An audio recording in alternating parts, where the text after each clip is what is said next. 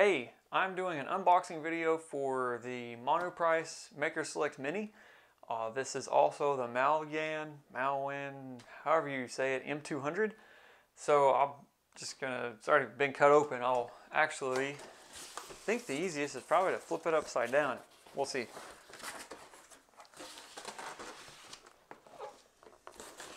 So it is just a styrofoam brick.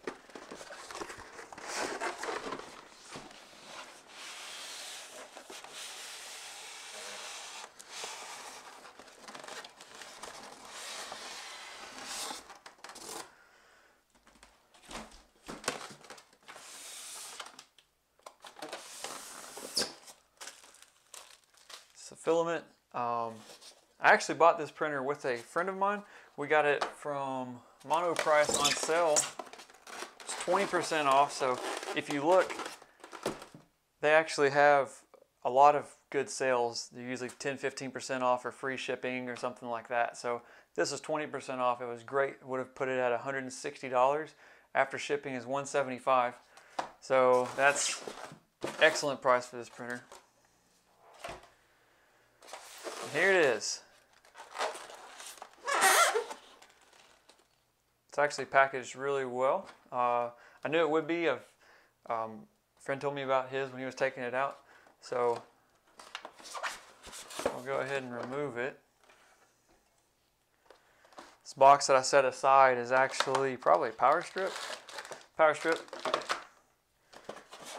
Another box in here. See what this is. This is power cords and USB cords micro SD and a little scraper. So I'll set that aside. I don't need the little test filament. I've got, I'll just grab my regular filament.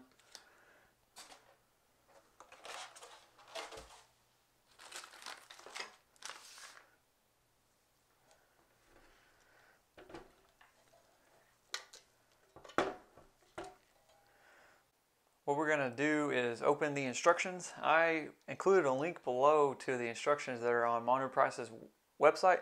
They're actually really good. So at the top of the instructions we see that it says warning, take care to remove or damage the yellow tape. Now this is just standard, it's just masking tape as you can see.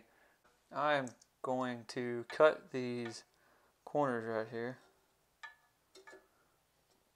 Let's remove uh, and I'm doing this because we're going to have to get to the screw heads in order to, to adjust it. So next we have ensure the power switch on the rear panel is in the off position. Off position, just like that, it's switched down. And so we will plug the printer in. Get our power source out here. Power source. Looks like a power source.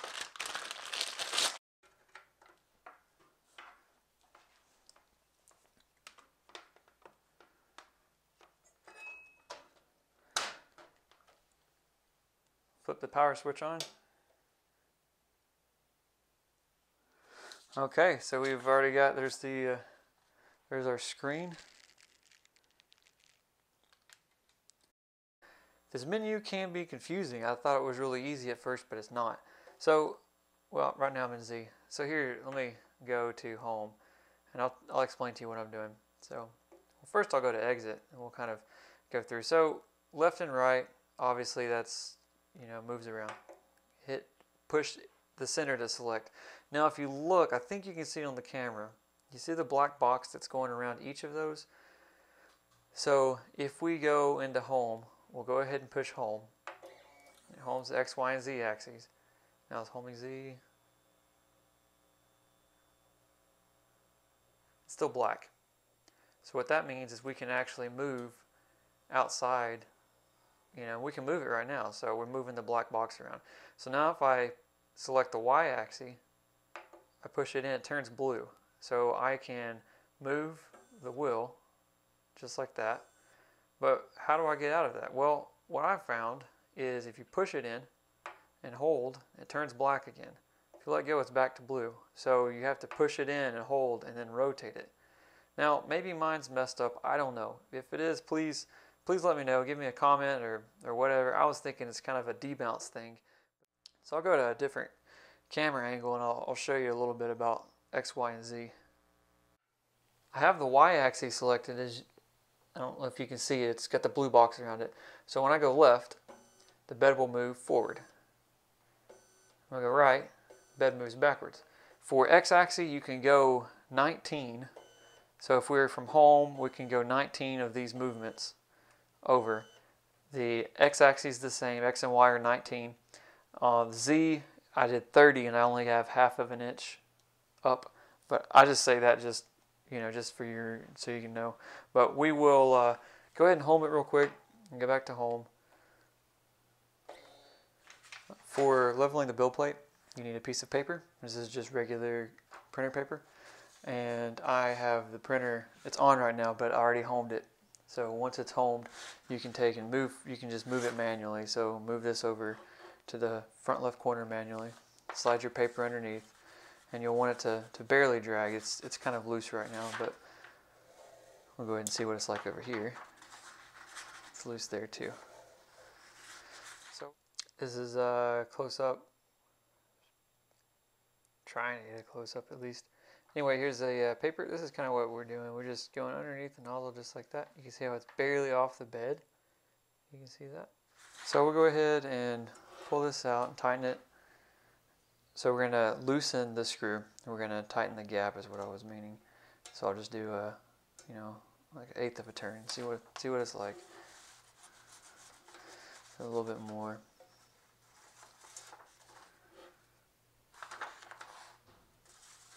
And right there, it's barely dragging. So I'll go ahead and go to the next corner. And that one, it's barely dragging. I, I'm to call that good and you just do this to all four corners. Um, sometimes it takes going over it twice. Okay, now we will install the SD card. So grab the SD card. Instructions say turn off the printer and put it in a print on. I'll just try and stick it in there. Should work all right.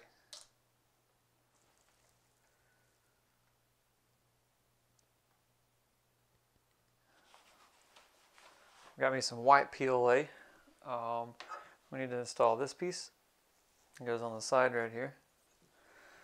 So these little tabs.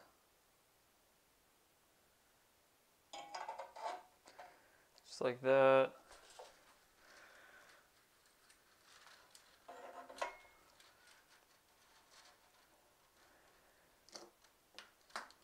Instructions said use side cutters. Cut at an angle. They said use a knife. I use side cutters. You can use a knife or side cutter, your choice. These are great. I got these on Amazon, Xuron, like nine bucks. I'll include a link below just uh, in case you wanted to get them. I use them a lot. Made in USA. So then we will thread this through the top. Go ahead and tilt the printer forward maybe. So you push it through here. Compress this. I'm going to go through the next hole. If you can see it. it goes into that. I would just go ahead and push it all the way through. You can feel it when it stops.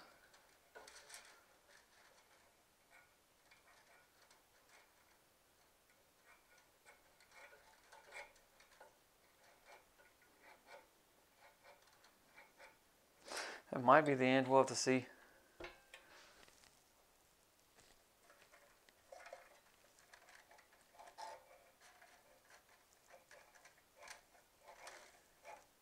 So that could actually be the end. So we'll go ahead and preheat the printer as the instructions say. The temperature menu and we'll preheat the extruder. We select the extruder icon. We select the extruder. 190 you can go you rotate it, change your temperature. We'll be at 190. We'll go ahead and hit it again. As I said, start preheat, so it's going to start preheat. So it's preheated now um, at 190 degrees. I will go to the X axis, sorry, Z axis. Go ahead and raise it.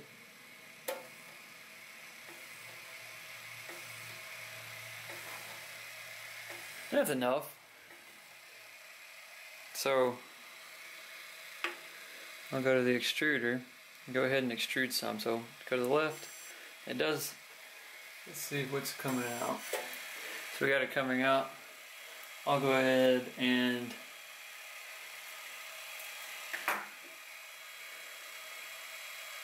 let's just try and print again. Just see what happens.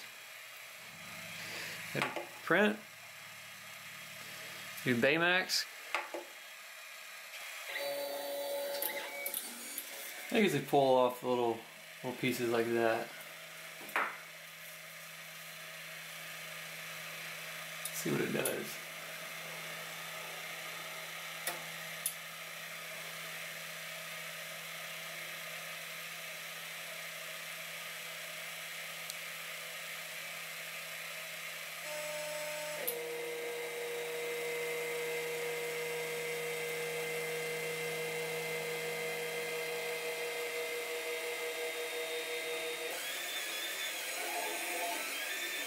There we go, we got something.